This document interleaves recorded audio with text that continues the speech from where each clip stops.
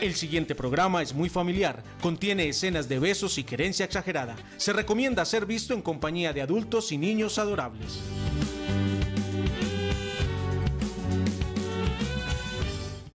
Nos unimos en un arrullo para abrir juntos un camino. Yo te ayudo a empezar el tuyo,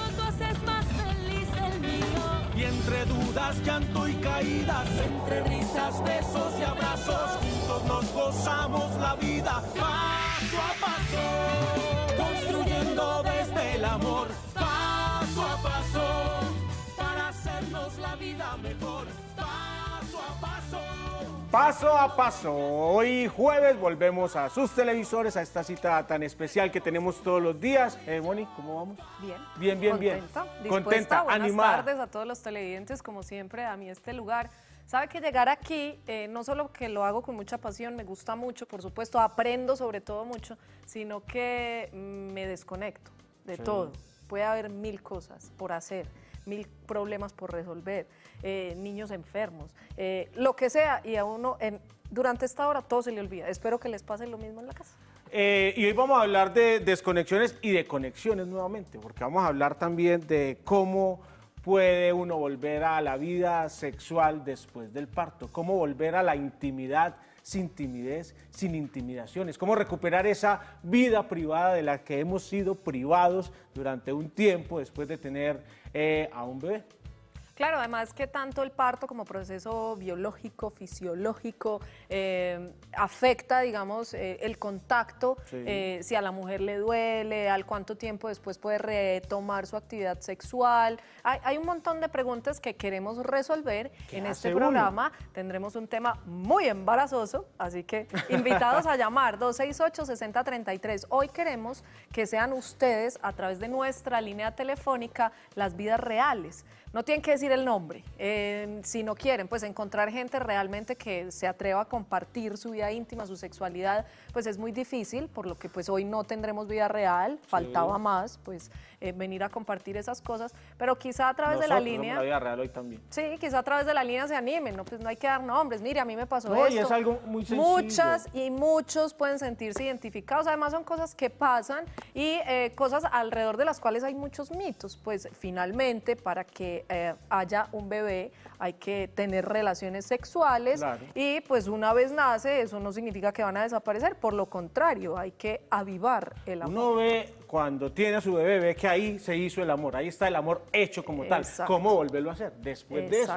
Y la pregunta es muy simple, ¿qué tanto cambió eh, la sexualidad, qué tanto se afectó la sexualidad de la pareja después del parto? Eh, a mí personalmente, yo lo que considero es que uno tiene como que volver a empezar. Porque después de todos los trastornos físicos y emocionales de la mujer, uno como que tiene que volver a enamorar, tiene que volver eh, ser muy consciente de lo que se va a encontrar físicamente, emocionalmente, hay que volverla a conquistar. Además, porque es que uno ya tiene otro rival en la casa. Consciente y paciente. Consciente Sí, y paciente. muy Además, porque uno- paciente. Uno, ya tiene otro rival en, en- en la casa con el que tiene que compartir el amor, que además lo va a empezar a interrumpir. Pero entonces, ¿qué hice yo durante más o menos, son que cuatro semanas, más o menos que dicen Mal contadas. que mal contas que ¿qué hace uno como pareja en las cuatro semanas? Dedicarse a las manualidades. ¿A qué? A pintarle la pieza al niño, a hacerle, a hacerle lo- lo- los cochecitos. Yo aprendí hasta hacer crochet. Me tocó, me tocó. Muy bien, Leo, me gustan mucho sus consejos, se nos está adelanta- adelantando a los tips de la práctica. Mientras se animan a marcar, hoy tendremos una super experta que maneja muy bien estos temas, que se encarga además de que las parejas o de ser mediadora para que las parejas recuperen esta, eh, este deseo, estas ganas de volver a estar juntas, para que superen lo que puede ser ese momento traumático en términos de la sexualidad, como es un parto para una mujer, lo que eso representa. Así que aprovechenla, la vamos a disfrutar mientras ella se prepara, mientras ustedes se animan a marcar. Aquí está este video que habla justamente de lo esencial en una pareja.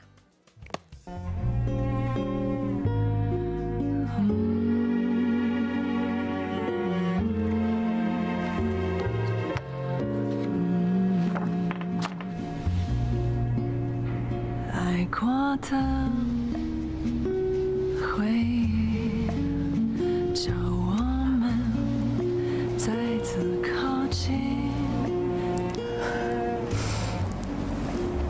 好吧我会签的。但是我还有最后一个条件。这个月剩下的日子里你可以每天都拥抱我一次吗？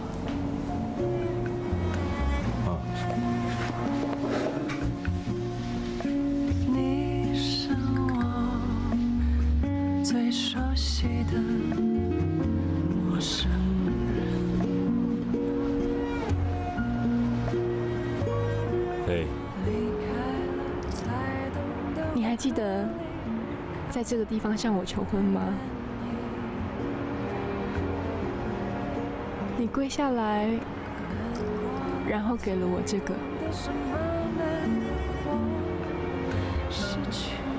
你说你想一辈子和我在一起，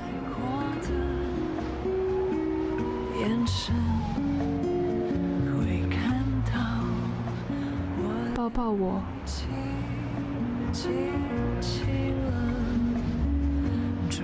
是多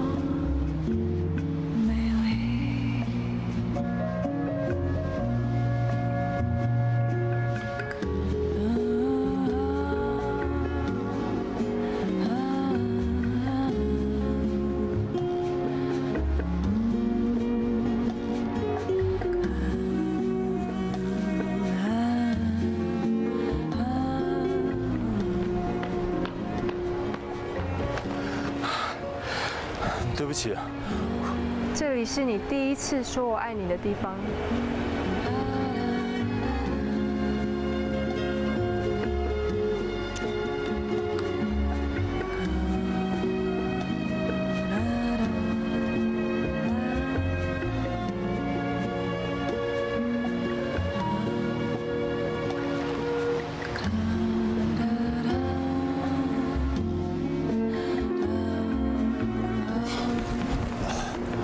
起，对不起，我知道了。哎，我们来过这里，对吧？你真的记得吗？是你第一次吻我的地方。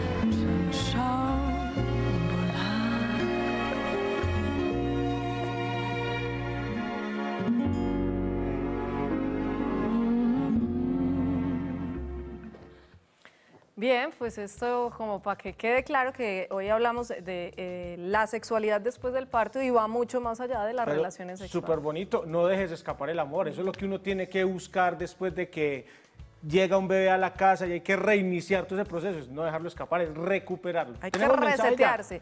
Mire, pero es que hay un mensaje muy bonito que quiero compartir hoy con todos los televidentes antes de que entremos en materia en este tema. Antes de que entremos en calor. Dice. Milena Rivillas, eh, tan chévere, me encanta este programa. En casa no tengo televisión por decisión familiar. Sin embargo, mi hija de 10 años y yo vemos un programa cada día de los que están en YouTube. Ella es quien me lo recuerda. Felicitaciones y no dejen de compartir tantas cosas importantes e interesantes con las familias.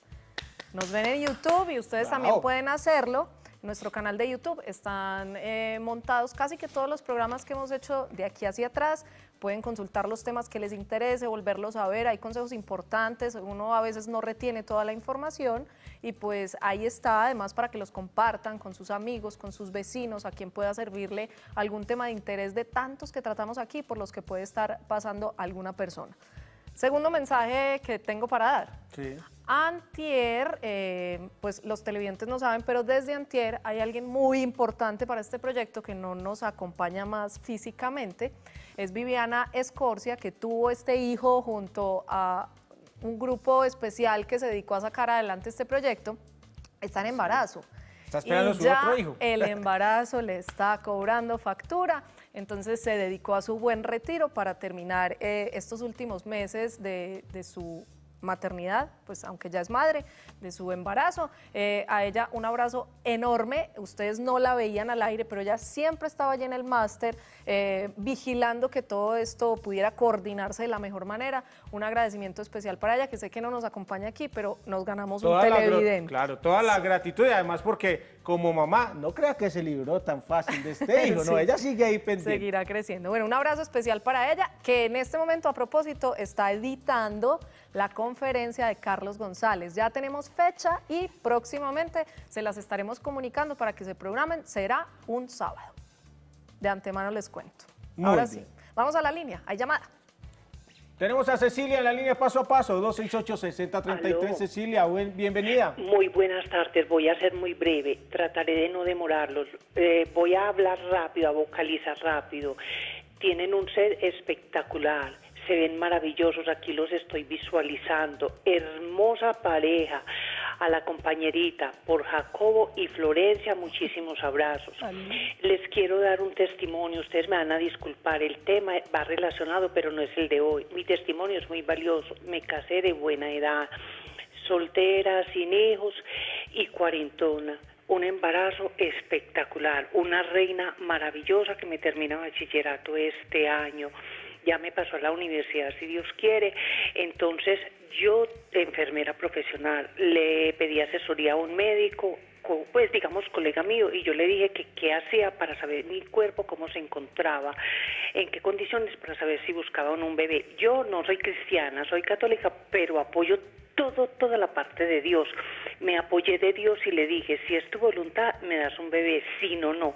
Ese es mi testimonio. Lindo como me está mirando ese joven espectacular, que Dios los bendiga. Con atención. Tengo una hija maravillosa, entonces es Dios quien decide. Hay Cecilia. niñas de 20 años que buscan bebés casadas y tienen el primer bebé mongólico y luego los otros no. En cambio yo dije, ya no más, con uno me quedé. Es un testimonio. Yo le comenté a la niña que me estaba recibiendo la llamada. Sí. Iba relacionado. Tengamos fe en todo lo que emprendamos.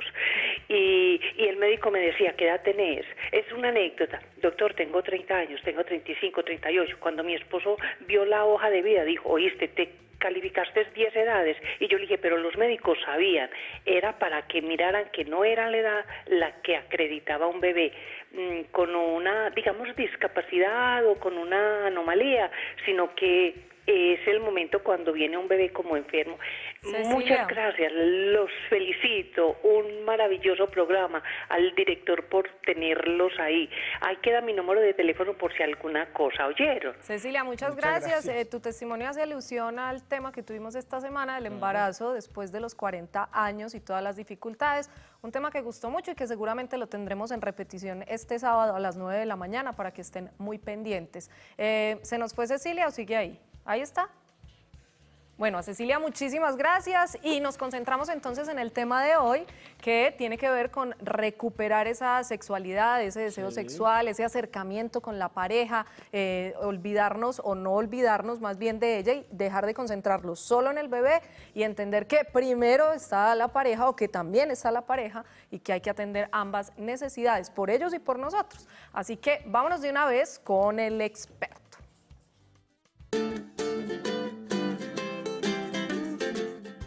Para ello contamos hoy con la presencia de Ana Sofía Giraldo, especialista en crecimiento sexual y de pareja, gerente de Pink Secret. Así es. ¿Qué es Y Pink Secret? mamá de Florencia, además, Mamá de, de dos Florencia, años y medio. Florencia. Tenés muy buen gusto. ¿Qué es Pink Secret? Eh, Pink Secret es un lugar que yo creé hace, va a ser ocho años, donde el objetivo es que la gente pueda aprender de sexualidad sin ningún misterio, de una forma donde uno realmente desmitifique como todas las cosas que puede tener aprendidas erróneamente y pueda tener una sexualidad plena y sin ningún misterio. Prácticamente lo que viniste a hacer hoy aquí. Exacto. Solo que hoy hay un suceso especial y es el parto. Exacto. Eh, por obvias razones, yo lo mencioné al comienzo, es difícil encontrar una vida real que se anime a hablar pues, de lo que ha pasado en su vida íntima después del parto, pero como terapeuta, como acompañante, eh, como creadora de Pin Secret, justamente, has de tener muchas anécdotas, muchas historias que puedan ilustrar muy bien este tema y en, cua- en las cuales las personas que nos están viendo puedan encontrar el reflejo, sentirse identificadas y decir, mira, esto no es tan extraño, a mí me pasa lo mismo, me siento igual, eh, no es tan raro y además, sobre todo, hay esperanza, hay algo que hacer. Eh, ¿Cuáles son esos casos concretos que pudieran ilustrar a manera de vida real nuestro programa hoy? Mira, eh, yo creo que hay algo que es muy normal y es que, por ejemplo, un, caso típico es yo tengo un hijo, eh, tengo toda la energía puesta en ese hijo, ya sea pues porque está un recién nacido, pues chiquito, chiquito, o porque simplemente mi sueño toda la vida fue tener un bebé, o porque se me transformó pues como el sentimiento materno así salió al flote. Eh, muchas de esas mamás lo que hacen es que se vuelcan totalmente en sus hijos y se olvidan de las parejas. Entonces, cuando ya llega un punto en que ellas dicen, listo, eh, ya quiero como retomar este asunto, el sentimiento es como estoy perdida, o sea, no sé cómo reconectarme, lo amo, lo quiero, pero ¿cómo hago para volver a sentir un deseo sexual? ¿Cómo hago para reconectarme con el otro de una manera íntima? Porque ya, como quien dice, se me olvidó, es como cuando uno lleva casado mucho tiempo que uno dice, ¿cómo vuelvo a salir con alguien? O sea, ¿cómo consigo novio? Es como una sensación así. Em, hay varios temas que son muy frecuentes, la lactancia, cuando eh, uno tiene lactancia, exclusiva, hay una hormona que se produce que es la prolactina. Eh, la prolactina, por ejemplo, hace que uno sufra de resequedad vaginal. Entonces, las relaciones sexuales, cuando uno quiere hacer un, un contacto nuevamente con su pareja, pueden generar demasiado dolor, o sea, no ser, eh, no ser No agradables.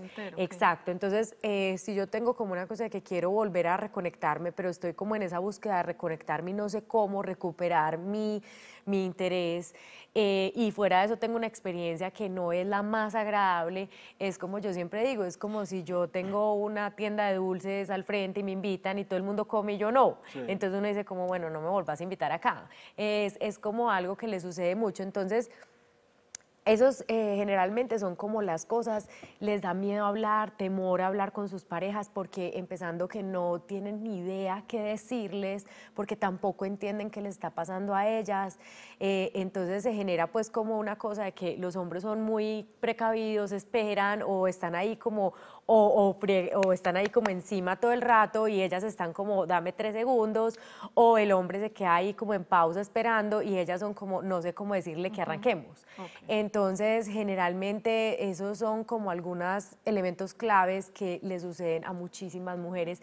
Y otra de las cosas son los cambios hormonales. Entonces uno se vuelve, como yo les digo, uno se vuelve súper quisquilloso, o un día llora, el otro día está feliz, el otro día, y uno no tiene ni idea, se le olvida a uno todo, eh, se le olvidan las citas, y uno dice, pero ¿quién me acordó de esto? Y son todos esos cambios que también hacen muy difícil porque uno no, no se, termina, no se termina reconociendo como persona. Uno dice como, pero... Estos casos, eh, como a, a grandes rasgos, Ajá. estoy casi que segura que en, en este trabajo te han llegado casos que te han marcado. Eh, ¿Para qué le vas pensando? Sin decir obviamente nombres, mire, una vez llegó una señora que no sé qué le pasó, eh, que la gente pues quizá pueda pasar, que sea algo más común de lo normal, y nos compartas la historia mientras nos vamos a la línea. Que tenemos a Lucía, mamá de Tomás. Nos llama paso a paso. Lucía, bienvenida. Hola, ¿cómo están? Muy bien. ¿Tú cómo Em, vas? Cuéntanos. Quería compartir, pues quería preguntarle a la doctora algo. Aprovechan felicitarlos por el programa, me parece pues una muy buena manera de pasar la tarde. Em, y con todos estos temas tan importantes que ustedes plantean, eh, perdón, pero estoy un poco asustada. Tranquila. A ver, Nosotros mi también, es pregunta normal. es, eh, eh, precisamente de, las, de lo que hablaba la doctora, de la prolactina, nunca se me han podido, no, o sea, yo tuve a mi bebé, pero no se ha vuelto a regular la prolactina. Y de hecho también tengo un desorden hormonal que en este momento me están tratando. Y eso me genera lo que hablaba la doctora, la resequedad vaginal. Entonces llegamos a este punto de, de, de consultar pues que el ginecólogo eh, le, le, le medique a uno pues uno y otro lubricante para que no haya tanta, tanta mm, a ver, como de ese, ese malestar que uno siente. Y, mm, a ver, porque muchas veces los hombres pensarán, o el esposo de uno pensará, ay, no, es que no quiere estar conmigo, entonces no lubrica. Pues no es eso, sino que no es, no es una cuestión de uno, sino que es el cuerpo que de verdad no sé, como que no se ha vuelto a adaptar a este rol. Listo, ya soy mamá, pero yo no me puedo olvidar que soy esposa. Doctora, muchas gracias y de nuevo los felicito a todos por el programa. Muchas gracias. Lucía, muchas gracias. Y Nos voy a recapitular esa última frase. Listo, soy mamá, pero no me puedo olvidar que soy esposa, que es el mensaje que queremos dejar con Totalmente este acuerdo. programa. ¿Qué, qué decirle? Eh, pues mira, yo creo que Lucía ha hecho las cosas muy bien. Cuando uno tiene como un problema que uno ya dice, no lubrico, me doy cuenta de eso, uno lo primero que debe hacer es ir donde el ginecólogo de uno. Eh, para todos los desórdenes hormonales y eso, yo creo que ellos son las personas más indicadas para decirle qué tomar y qué no tomar.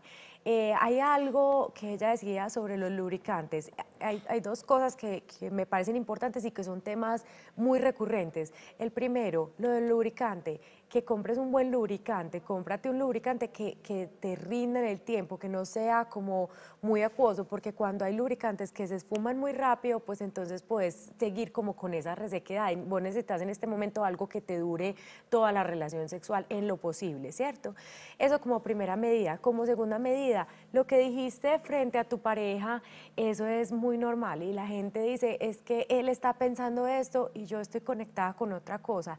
Ahí lo más importante es tener una comunicación súper abierta. No como- suponer. No suponer y, y sobre todo no pensar que el otro se va a poner bravo o va a decir esto otro. Yo creo que cuando uno habla, como yo les digo, siempre desde la entraña, desde decir, o sea, esto es mi realidad, el otro tiene que entender que pues que esa es la realidad y no tiene nada que ver con él y con una cosa personal, sino que es un cambio hormonal. Pero hay una cosa además que con lo que dice Lucía que me parece importante y es no llegar a esa reanudación de la, de la vida sexual como con la obligación de que además de ser mamá tengo que ser pareja, con, con hacerlo como por obligación, por de complacerlo. Yo creo que es muy importante también el papel de, de uno como hombre o de- de- del hombre como pareja, de comprender esa situación, O de de, estar en conquista, espera, de de, hablar, de conquista. reconquistar y de, y de entender eso. Me parece muy bonito lo que, lo que decía Lucía. No es que falte deseo, es que eh, esa falta de lubricación es una consecuencia normal del parto y que hay que tratarla como muchas otras cosas.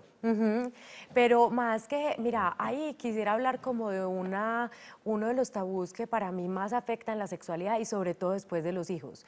¿Por qué? Porque cuando uno tiene una sexualidad plena con su pareja y uno eh, está de novio, o sea, no importa si es aquí, si es allá, o sea, uno es muy libre de escoger el momento, el lugar, la forma, todo, ¿cierto?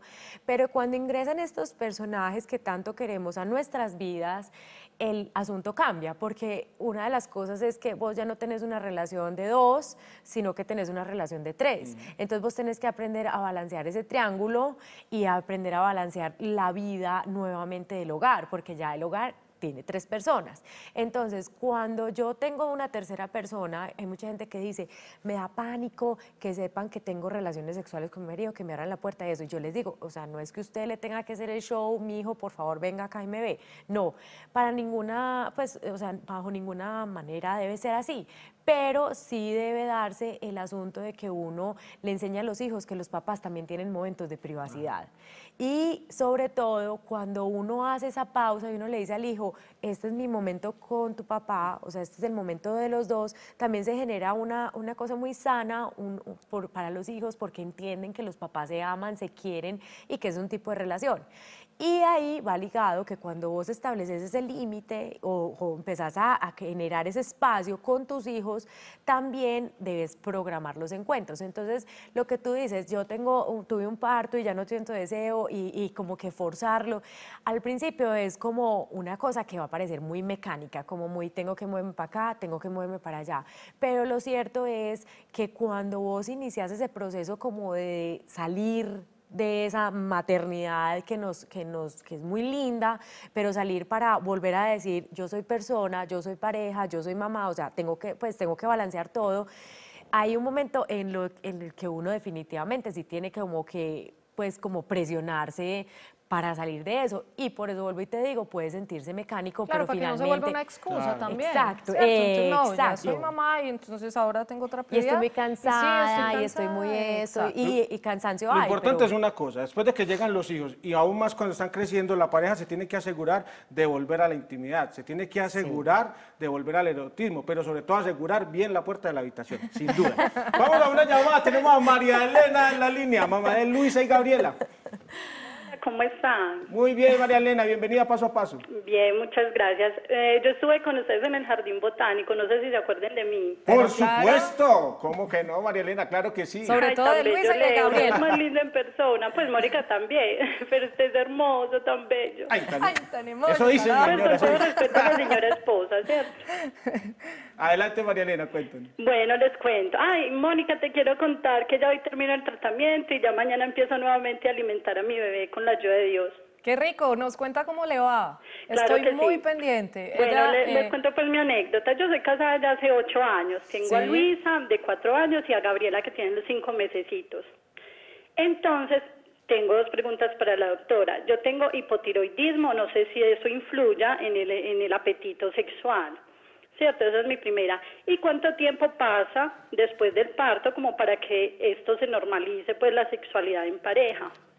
Porque realmente pues a mí en mi caso pues a, mí- a uno no le provoca como mucho.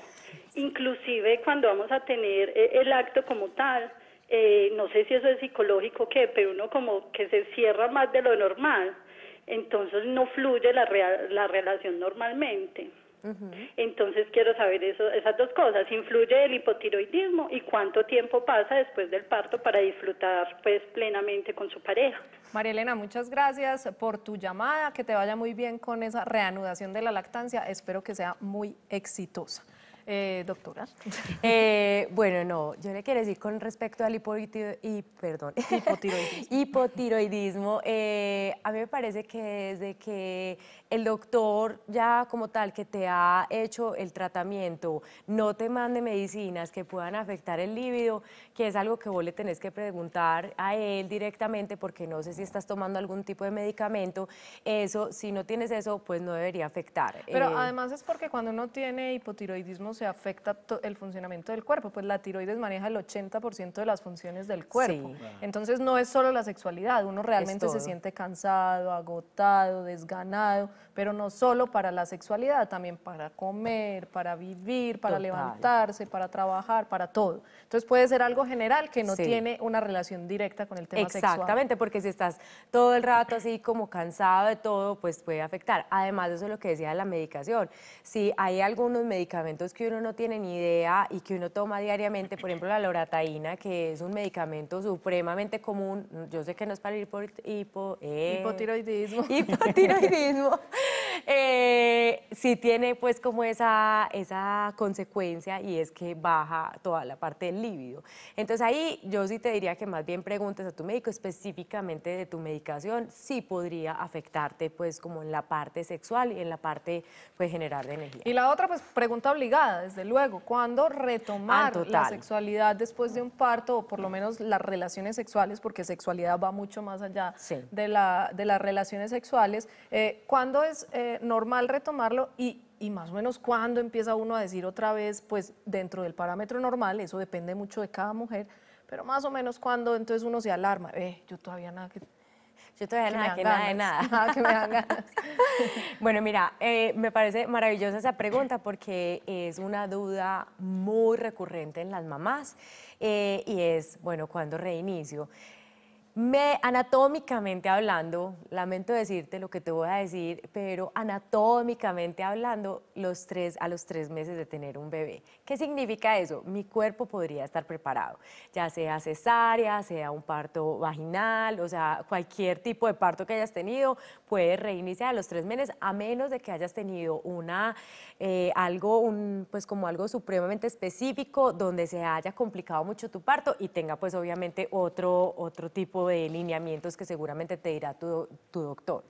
Ahora bien, eso es anatómicamente hablando. Otra cosa es como la preparación mental, porque uno no muchas veces a los tres meses uno está como, te voy a saltar encima. No, para nada. Uno puede estar como, bueno, no, mm, eh, pues ahora que, a qué jugamos o qué, o estoy muy cansada, o el bebé está fregando mucho, o todavía no ha dormido, todavía lo uno, todavía lo otro, o sea, tantas cosas. Entonces yo lo que digo es que a partir del tercer mes es empezar a pensar en volver a hablar con el otro, a generar menos un, comamos juntos, los dos solos, o sea, contame cómo te fue en tu día. Como vimos en el video al principio, yo creo que ahí hay algo muy importante y es que si ustedes lo vieron, lo que ella estaba tratando de generar después de que él le pidió el divorcio era simple y llanamente una conexión otra vez, porque amar es una decisión de todos los días. Y lo mismo es el deseo sexual, o sea, uno con el deseo sexual tiene que jugar con el cerebro, que es el órgano sexual más importante. Entonces uno tiene que estar estimulando el asunto y generar esos espacios entre los dos, así sean corticos, no se pongan pues que tiene que ser pues que nos volamos un mes seguido juntos, no. O sea, una cosa de media hora, cómo te fue en tu día, cómo me fue en mi día, todo, puede empezar a generar ese link de los dos. Espacios muy coitos. Vamos mejor con el dato, una pausa y ya volvemos en paso a paso. Este es el dato. Un estudio reciente realizado en Australia con 1.507 madres a las que se les realizó un seguimiento a los 3, 6 y 12 meses tras el parto mostró que el 89% de ellas describía problemas de salud sexual en los primeros tres meses después de dar a luz y que el 51% continuaba sin deseo a los 12 meses. El estudio también desvela que las preocupaciones más comunes en el posparto son pérdida de interés en el sexo, dolor durante las relaciones sexuales y falta de lubricación. Ya entraremos en detalle con todos estos casos. Pausa y volvemos.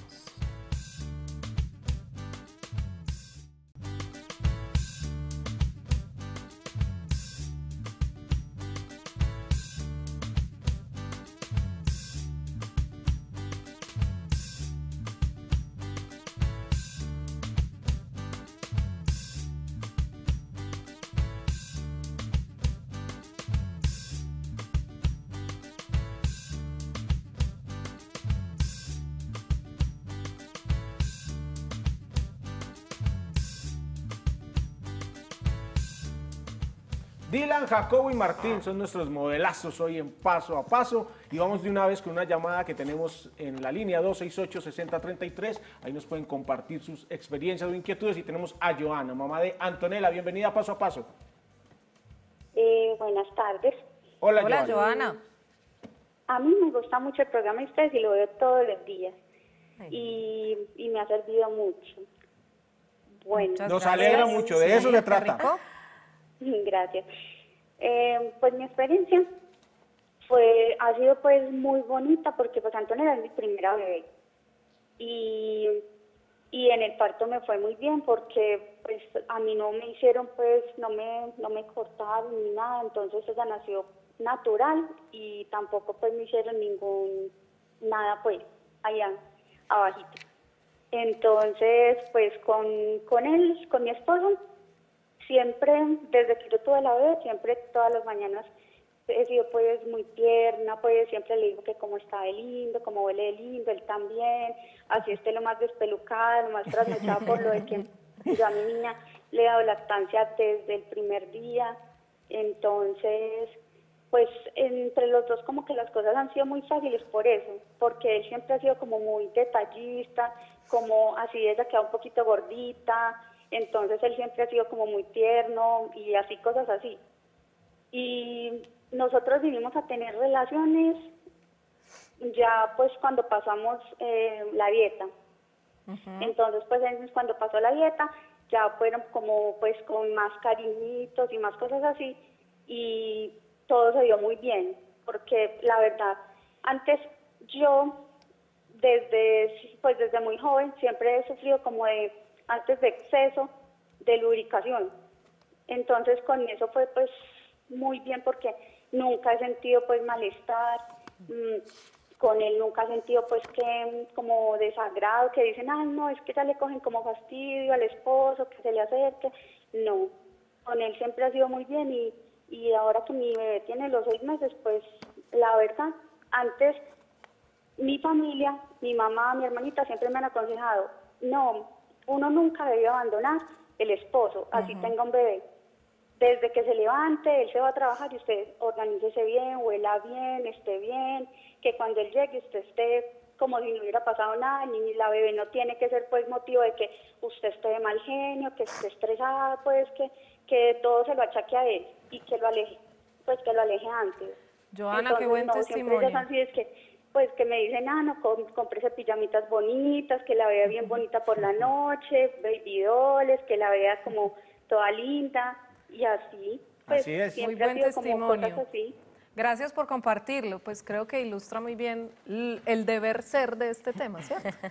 Eh, para volver a, conversaciones con nuestra experta, eh, nos hemos dedicado más como a atender las llamadas y los casos concretos de los televidentes. Empecemos un poco de cero. ¿Es un error de pronto pensar que después de un parto se van a reactivar las relaciones sexuales como si nada hubiese ocurrido? Sí, para mí sí.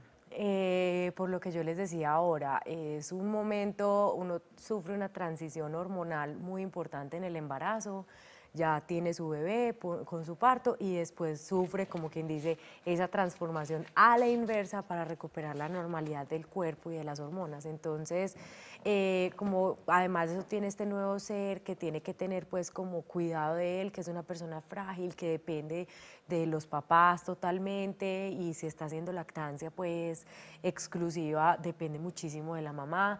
Entonces eso agota, o sea, eso agota el proceso de aprendizaje de la lactancia, el proceso de entender que cuando se levanta el bebé, cuando dice lo uno, que lloro es ese. Entonces yo creo que es como mucha la energía que absorbe.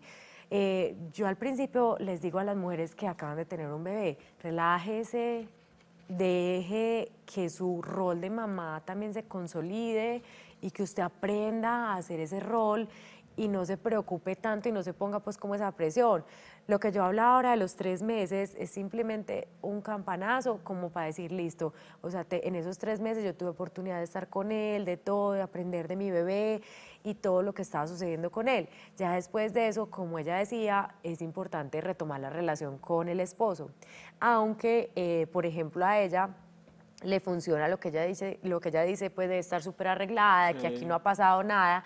Yo te diría, y creo que es una gran ayuda para las mamás, y es que nosotras cuando tenemos un hijo, uno de los mayores errores es sentir que somos las súper, eh, súper así, súper en todo. Tenemos que ser súper mamás, súper esposas, súper caseras, súper toda en orden. O sea, no despeinada, perfectamente maquillada.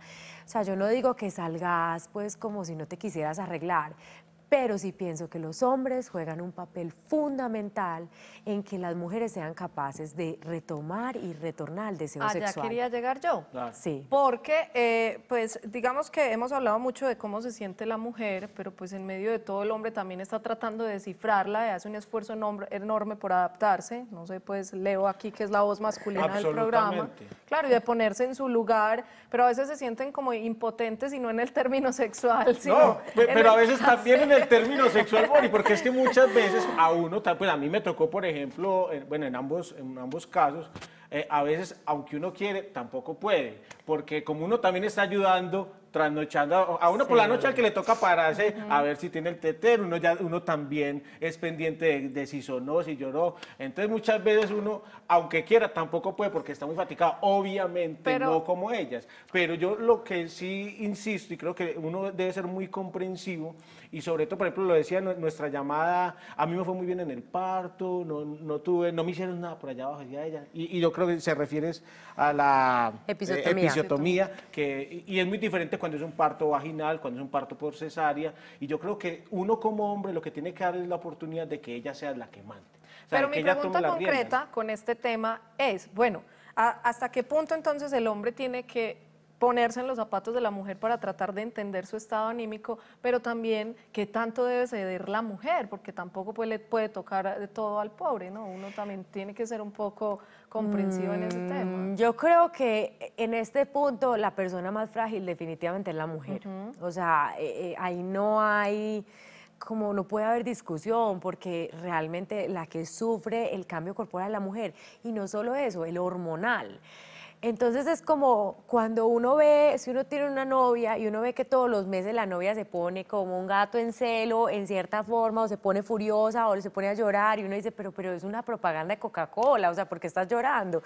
Pues como eso eh, son cambios que uno no puede controlar y que uno después como de dos días uno dice, ah, es que ya, ya llega aquel, aquel, aquel, Claro, aquella pero etapa". ahora hablábamos de que eso tiene pues un periodo normal, ¿cierto? Un año. ¿Cu- ¿Cuándo pasa esa delgada línea No, que dice, o sea, esto se me volvió una excusa? un hasta- año. No, hasta que el cuerpo se recupere, realmente pueden ser Y nueve ella está en meses. todo su derecho de tomarse su tiempo. No, no, no, no, no. Ah, Estamos hablando de cambios hormonales. O sea, en los cambios hormonales terminan y el cuerpo vuelve a ser el cuerpo mío con mi cerebro funcionando al 100% y toda mi, o sea, toda mi capacidad al 100% alrededor del noveno mes. No significa que yo no pueda tener sexualidad antes del noveno mes.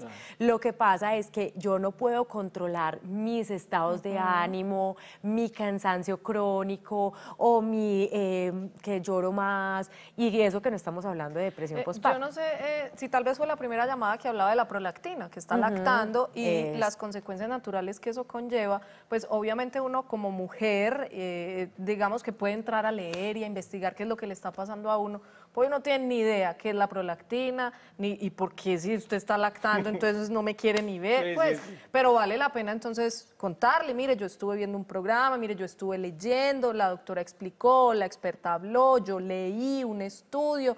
Esto me está pasando, pues Sí. no es que yo me lo esté inventando, porque es que a veces también lo tildan a uno de loca. Bueno, y Sí, de todas maneras, después de parto o no, uno tiene que entrar con manos de seda y con todo de seda para que ella sea. Eso sí, pues, olvídese.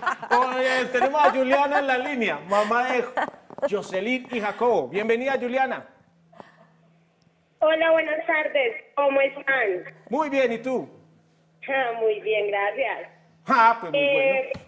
Pues yo me siento, me siento muy, muy, muy identificada con el programa porque yo pensé que eh, lo de la lubricación era algo que me estaba pasando y pues yo decía, yo no, em, esto está muy raro y hasta pena con mi esposo, pero veo que es algo normal y que, y que nos pasa a todas las mamás, pues eh, gracias porque cada día más aprendo del programa. Eh, hasta lo pongo a él a que lo vea cuando puede, la repetición. Hoy sí que lo va a tener que ver. Feliz, feliz de, de- de compartir con ustedes las experiencias que nos pasan, porque Jacob está muy pequeñito, seis meses tiene, y, y con todos, con todos los programas me he identificado. Juliana, sabes que eh, se me eriza, pues en serio me dio No, no se emociona sí, mucho, porque, eh, pues nosotros hacemos un esfuerzo muy grande, por supuesto lo disfrutamos, pero llamadas como esta nos hacen sentir que estamos cumpliendo el objetivo. Es Así que es. nos acompañemos, que nos identifiquemos, que entendamos que no solo nos pasa a nosotras, que no estamos locas, que esto de los niños va mucho más allá de tener un parto, de tener un hijo. Eso trastorna eh, en el buen sentido de la palabra, porque como yo siempre digo, los hijos son un encartico delicioso. Así que bienvenidos y muchas gracias por esa llamada. En serio, me emociona mucho. Es momento de hacer una pausa. Nos vamos con el dato y ya regresamos para aprovechar a Ana con este tema.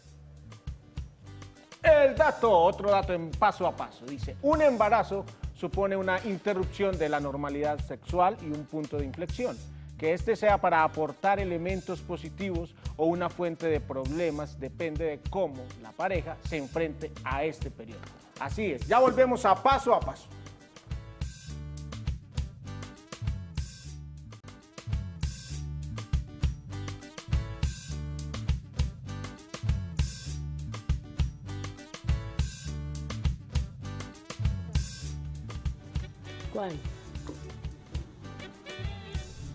¿Quién es el bebé más hermoso de la casa? ¡Eso! ¡Bravo!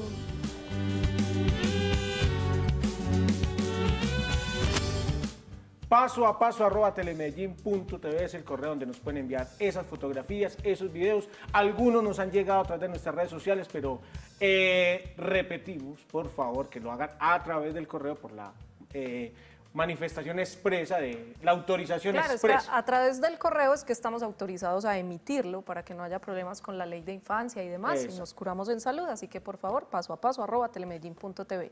Retomamos con nuestra experta que quería eh, retomar, valga la redundancia, algo de la llamada de, de Joana. Eh, sí, pues que me parece, además de lo que muy emocionante, que ella dice, me di cuenta de que no estoy loca y esto es normal.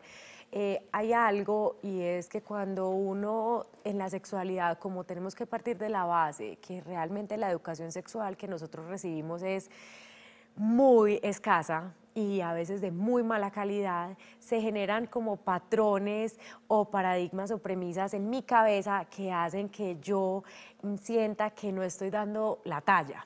Es decir, ella decía, es que yo no estoy lubricando, entonces estoy mal, no me siento bien, será que yo no estoy emocionada, será que lo uno, será que lo otro, y el otro piensa, es que él no está lubricando, entonces es que no me quiere, y todas esas cosas. Cuando uno tiene esa información y uno se da cuenta que esto es una fase y que es algo normal de lo que estás viviendo actualmente, eso quita presión para alcanzar esa meta que es inalcanzable. Y eso lo que hace es que vos puedas dedicarte a disfrutar más plenamente la relación sexual sin necesidad de estar pensando que tenés que llegar a ese lugar que nunca vas a llegar. Muy bien, Ana, ¿qué tan frecuente es, porque es, digamos, como el ideal, el imaginario de todo el mundo con este tema?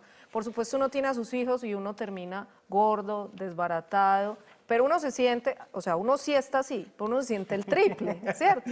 Y entonces eso hace también que uno rechace esos momentos, que los evite, que a toda costa saque esas disculpas de las que hemos hablado a relucir y qué hacer realmente, porque a veces ellos... Ellos ni se fijan en eso. Pues, Ay, no creas, no creas que uno sí se fija. No, digo, Sí, a veces no, sí, sí, ustedes sí. no se fijan, sobre No, pero todo yo no después de creo- haber tenido un hijo. Sí, yo no creo que Pues vos sí, pues digas como, ay, sí, no están pues súper colgando, no, espérate, pues eso sería como el colmo de los colmos. Yo creo que ese es un punto que uno como, o sea, si yo estuviera en la posición del hombre, lo que uno debe tratar es de entender que eso es naturaleza, o sea, el solo hecho de uno ser capaz de fabricar una nueva vida, eso debe ser una cosa muchísimo más importante y más valiosa que cómo me veo actualmente, porque uno, uno después se puede recuperar, o sea, o todo vuelve a la normalidad, o si usted queda eh, un poco más gorda de lo que usted cree, pues no se preocupe por eso. Yo creo que... Pues es- uno va y mira al bebé y se le olvida. Sí, o, o uno, y uno también tiene que, recu- o sea, no que, no, yo no digo como, bueno, déjese y quédese así, no, o sea, recuperar como su sex appeal, como usted, pero para que usted como mujer se sienta linda. La cosa ya pasa de castaño oscuro cuando mm, ya es demasiado insistente el tema y entonces si yo no estoy 90, 60, 90, no. Entonces ya cuando se vuelve como así, como, como más fuerte el asunto, es cuando yo, em, cuando yo me distorsiono esa imagen corporal, es que también pierdo parte de la facilidad para tener placer sexual. ¿Por qué? Porque entonces yo estoy pensando, eh, pues voy a estar con mi pareja, pero entonces no me puedo poner esta minifalda porque se me ve la celulitis, no me puedo poner los tacones porque mis piernas tienen varices, no puedo poner no sé qué porque la barriga no... Y entonces uno empieza a dejar de disfrutar el momento y se concentra en cosas que...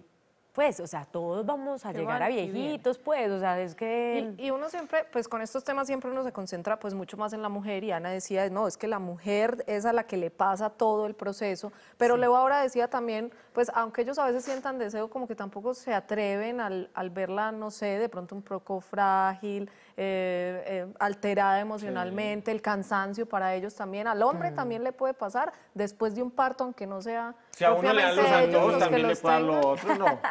No, sí. En, en el caso del hombre, Obviamente, llega un punto en que llega un nuevo bebé y el hombre se siente supremamente como desplazado, o sea, se siente como que también tiene, está pendiente de la relación madre-hijo y está buscando el espacio como para entrar dentro de esa dinámica familiar. Entonces ahí hay, hay ciertos tipos de mamás que son súper aprensivas, yo lo baño, yo lo visto, yo lo cojo, yo lo llevo, yo lo, le empaco la pañalera, yo esto, yo lo otro, yo lo, o sea, todo. Y yo a ellas les digo, no caben su propia tumba, o sea, me hacen el favor y dejen que los hombres también hagan, porque en esa participación se genera el vínculo con el niño y no solamente eso, sino que yo, si yo estoy cansadísima porque todo el día me ha tocado cuidar al niño y mi marido llega eh, por la noche del trabajo que también está muy cansado, que venga, bañe al niño, se integre y ayude. Eso a mí me hace sentir amada. Y, y que no devuelva mamá del niño y mamá del esposo también. ¿Qué tenemos para eso? No, a propósito, a propósito, porque eh, me gusta mucho que Ana toque ese tema. Esta recomendación es un video corto, pero es que sí, a veces nos volvemos, es como la mamá de la pareja y se nos olvida que es que somos la esposa.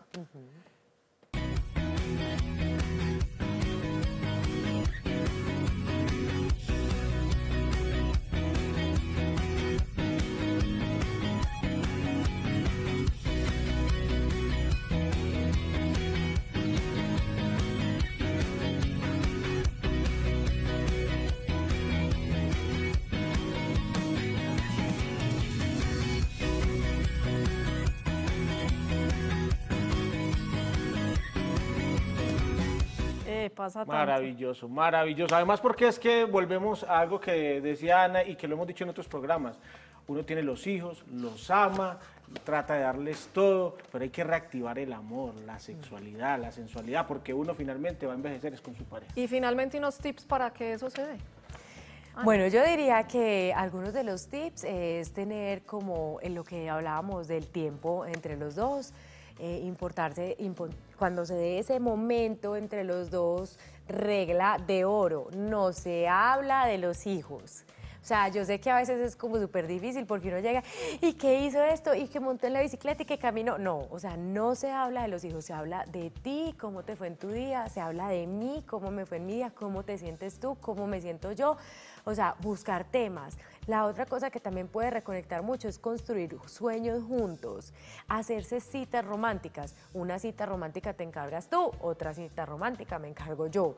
Cada uno en su posición y de la forma en la que le guste. Cuando yo hago una cita romántica y el otro va, eh, hay, hay algo ahí que quiero hacer como un paréntesis, es que yo no puedo hacer una cita romántica que yo no sé si al otro le va a gustar y llevarlo como así con los ojos tapados.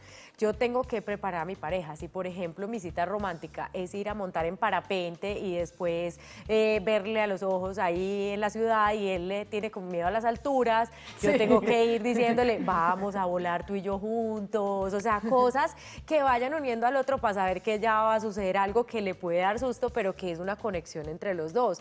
Entonces, eh, esas- esos espacios de los dos son súper importantes. Cuando yo sienta, y aquí hay algo que es muy, muy real, y es la comunicación.